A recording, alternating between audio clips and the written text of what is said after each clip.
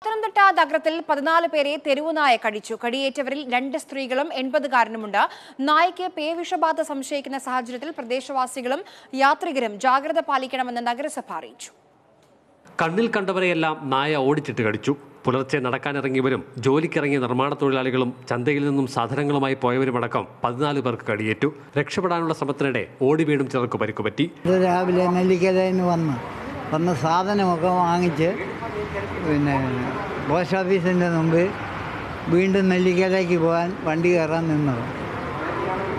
അവിടെ വെച്ച് ഇതര സംസ്ഥാന തൊഴിലാളി അടക്കം കടിയേറ്റ രണ്ടുപേർ സ്ത്രീകളാണ്. സ്റ്റേഡിയം കവല മുതൽ അബാൻ ജംഗ്ഷൻ വരെയുള്ള ഭാഗത്ത് രാവിലെ ആറിനും പതിനൊന്നിനും ഇടയിലാണ് നായ വഴിയാത്രക്കാരെ കടിച്ചത്. അങ്ങനെ പോകുന്ന വഴിയിലെല്ലാം ഗാന്ധി കോളേജ് ജംഗ്ഷൻ തൊട്ട് ഗാന്ധി സ്ക്വയർ വരെ പിന്നെ അബാൻ ജംഗ്ഷൻ വരെ ആളുകളെ കടിച്ചു. സ്റ്റേഡിയം ജംഗ്ഷന്റെ അവിടെ നിന്ന് ഇങ്ങോട്ട് ഓടി വരുമായിരുന്നു അപ്പോൾ ഞങ്ങളുടെ ബാങ്കിന്റെ ബാങ്കിന്റെ അവിടെ നിന്നിട്ട് കുറേ രണ്ടുപേരെ കടിച്ചു. എന്റെ കൂടെ വേറൊരു ചേട്ടനും കൂടെ ഉണ്ടായിരുന്നു.